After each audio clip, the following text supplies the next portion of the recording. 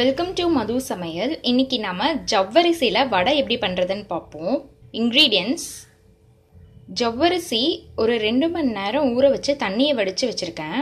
உருளைக்கிழங்கு நல்லா வேக வச்சு மேஷ் பண்ணி வச்சுருக்கேன். சால்ட் தேவையான அளவு. சீரகம் ஒரு டேபிள் ஸ்பூன் கருவேப்பிலை பச்சை மிளகா ஒன்று வறுத்து தோல் எடுத்த வேர்க்கடலையை மிக்சியில் போட்டு பவுட்ரு பண்ணி வச்சுருக்கேன். இப்போ ஒரு பவுலில் நான் என்னென்ன இன்க்ரீடியன்ஸ் எல்லாமே சொன்னனோ அது எல்லாத்தையும் போட்டிருக்கேன். இப்போ நான் இதை வந்து நல்லா பிசைய போகிறேன் தண்ணி சேர்க்காமையே வந்து நான் பிசைஞ்சிருக்கேன். இது நல்லா சப்பாத்தி மாவு மாதிரி வந்திருக்கு.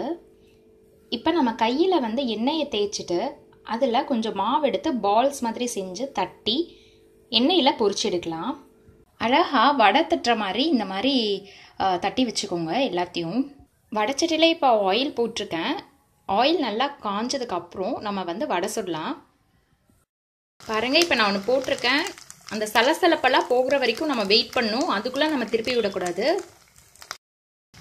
பார்த்து கொஞ்சம் தூரமாக நின்றுக்கோங்க ஏன்னா ஜவ்வரிசி அப்படிங்கிறனால சில டைம் வந்து வெடிக்கும். இப்போ பாருங்கள் உங்களுக்கு அந்த லைட் ப்ரௌன் கலர் தெரியுதா? இப்போ நம்ம டேர்ன் பண்ணி விடலாம்.